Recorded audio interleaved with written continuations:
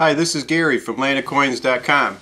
Today we're talking about rare coins, specifically rare coin books.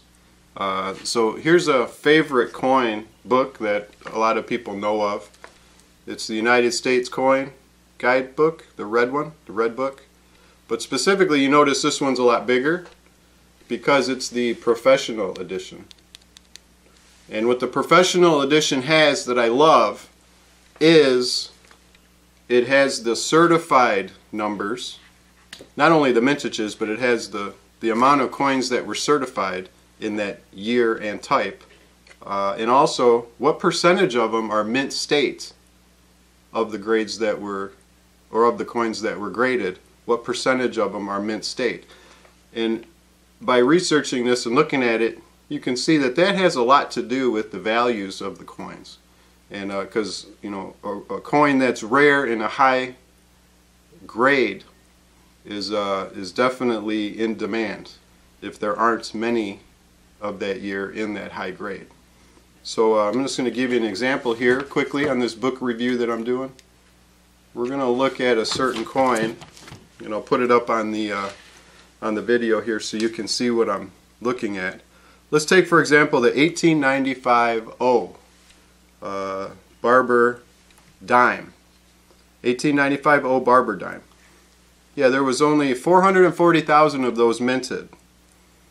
And of those, there's 146 right now that have been graded. And the average grade is actually 27. So on the numbers, the Sheldon number scale, 1 to 70, the average grade is 27. So not many of those coins are in high grade. In fact, if you look right next to the other number, the percentage of those coins that are mint states, 16%. So that's like one or two out of 10 that are actually mint states. So if you can get one of those in a mint state, that's extremely rare. Even though the coin is rare to begin with. To find one in a high grade is extremely rare and that's where the values are going to start escalating quickly. For example, mint state 65, the value on that coin is about $20,000. Whereas the one just above it, which has 690,000 mintages, you know, the 1895 O was 440,000. The 1895 is 690, still low mintage, but the values are substantial. A mint state 1895 is $2,500, not 20000 like the 1895 O.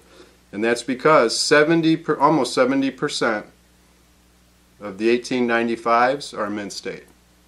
So you can see 70% mint state coin, an MS65 is 2,500. A coin that only has 16% mint state, an MS65 is $20,000. So there's a big difference there and that is why the values are 10 times, it's 10 times more if you have a low mint state coin. So it can be complicated looking at it, but when you got the book, makes it real easy and you can look at them and see what's a rare coin or not in the high grades. Because even though if a coin has been has high mintage, it can still be rare if there's not many of those coins in mint state condition.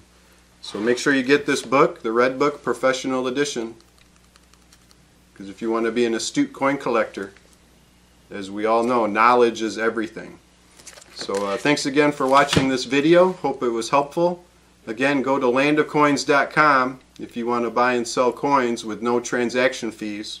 Because some, you know, the other auction houses, they have high transaction fees and uh, it can become expensive to buy and sell coins. But on our website, landofcoins.com, it's only $15 a month. You can sell an unlimited amount of coins with no transaction fees. Again, this is Gary from landofcoins.com. Thanks for watching.